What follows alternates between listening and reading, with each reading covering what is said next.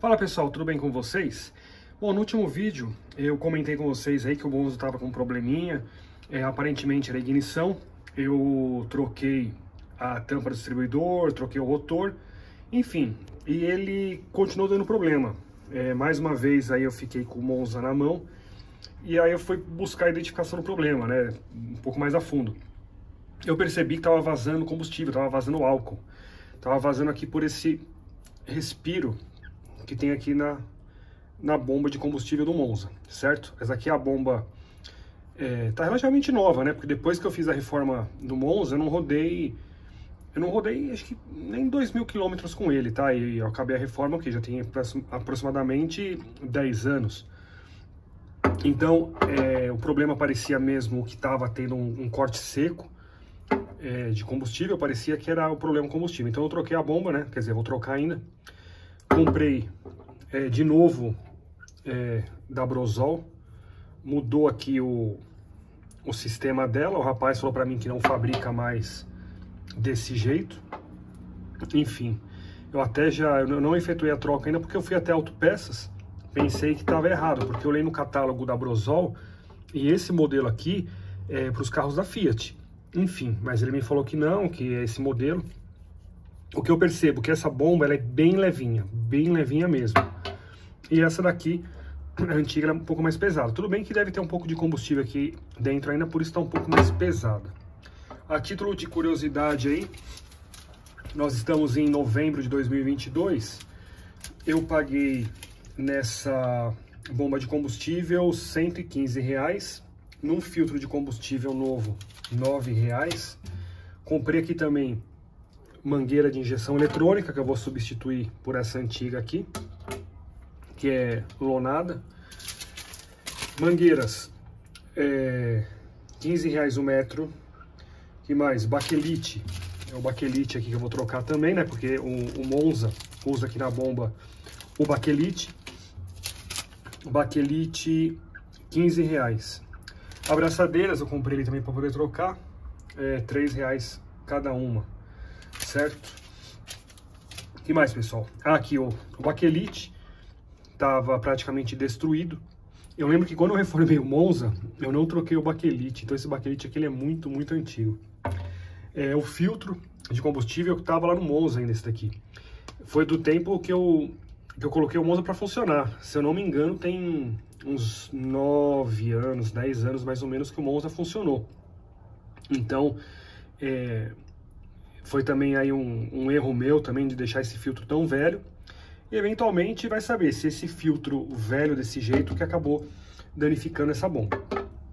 Eu, eu tinha pensado em comprar uma bomba Brosol original, é, GM de estoque antigo, só que era bem mais cara. Então eu falei, horas, acaba não compensando muito não. Se essa bomba aqui, ela durar mais, sei lá, dois, três anos aí que seja, acaba, acaba compensando. Mas o acabamento dela, assim, olhando pelo menos externamente, não é bom é um cheio de rebarbas. É, a usinagem dela não é bacana, mas vamos, vamos instalar e vamos ver como é que fica.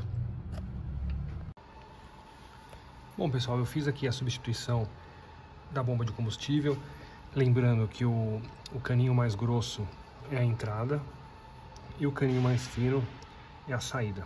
Então eu troquei aqui todas as mangueiras, coloquei as mangueiras novas né, de injeção eletrônica, que vai lá para o carburador também, troquei o filtro, a bomba de combustível está funcionando perfeitamente. Entretanto, o Monza, o problema do Monza não foi resolvido. É, demorou bastante para o carro pegar, bastante mesmo. É, foi bastante difícil. E eu percebi que o problema nele agora não é, é alimentação de combustível. Apesar da bomba estar tá com defeito, é que a bomba antiga estava com defeito, estava vazando, precisava ser trocada, mas não é o problema, não é o, o, o caso do Monza não ligar. Bom, é, como eu já falei para vocês, né, vocês viram no outro vídeo, já troquei aqui a tampa do distribuidor, já troquei o rotor, é, então a parte aqui está toda em ordem. Eu suspeito da bobina, ou da bobina ou da caixinha de ignição. É, eu mexi aqui nos fios, né, os fios eles estão todos ligados, tudo certinho, não teria motivo. Então eu acredito que seja realmente a, a bobina. Eu, eu soltei aqui é, a tampa do distribuidor, enfim, é, e percebi que realmente O, o, grande problema aparentemente era a bobina, acho que a bobina não está mandando a energia para cá. É, eu poderia fazer alguns testes com a bobina? Sim, até poderia. É, mas esses testes não são muito confiáveis e o problema na bobina é intermitente. Tem hora que ela funciona, tem hora que ela não funciona. Isso é o que eu, o que eu acredito, tá? Porque eu vim aqui, eu dei umas pancadas nela, é, tanto nela quanto aqui na caixinha aqui de ignição, umas pancadinhas bem de leve, e aí voltou a funcionar. Só que o que acontece? O motor ele funciona, ele está funcionando, de repente ele dá umas oscilações. Funciona e dá umas oscilações. Então parece o quê? A impressão que dá é que a bobina está dando umas falhadas. Ou a bobina ou a caixinha de ignição. Eu acredito na bobina. Então ela vai dando umas falhadas e aí o motor ele dá umas, é, umas falhas. E alguma, alguns momentos ele chega até mesmo a apagar. Enfim, é, vamos ver aí então o que, que pode ser. É, eu, eu acredito que, que possa ser a bobina antes ser a bobina do que a caixinha de ignição. A caixinha de ignição é um desafio muito maior para conseguir comprar outra. Nova, eu nem sei se existe mais. É, eu vi umas chinesas aí, mas sei lá. É, a bobina ainda tem nova para comprar, então é, tem que procurar aí depois comprar uma nova bobina. É, outro ponto que eu percebi, estava demorando bastante para ligar o eletroventilador aqui, a ventoinha. Mangueira que sai aqui da válvula termostática, bastante quente mangueira aqui de retorno para o reservatório fria, totalmente fria. Eu observei e não está tendo o retorno. A água não está circulando do radiador para o reservatório de expansão. Então mais um problema aí a ser resolvido, mais um desafio.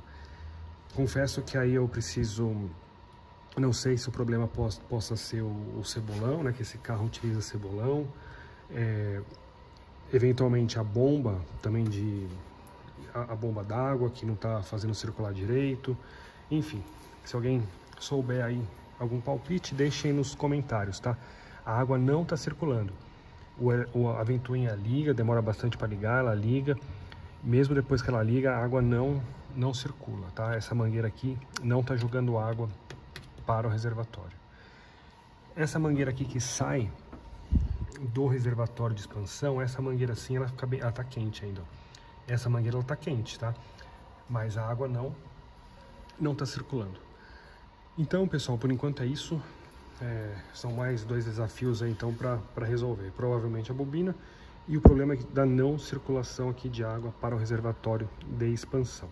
Se vocês tiverem alguma dica aí sobre o que possa ser isso daqui, agradeço deixem nos comentários. Eu ando meio enferrujado, como eu não, eu não mexo mais muito com, com mecânica, essas coisas, então às vezes eu dá umas batidas de cabeça aí. Então toda ajuda é bem-vinda. Beleza? Espero que vocês tenham gostado. Um grande abraço a todos e até o próximo. Valeu!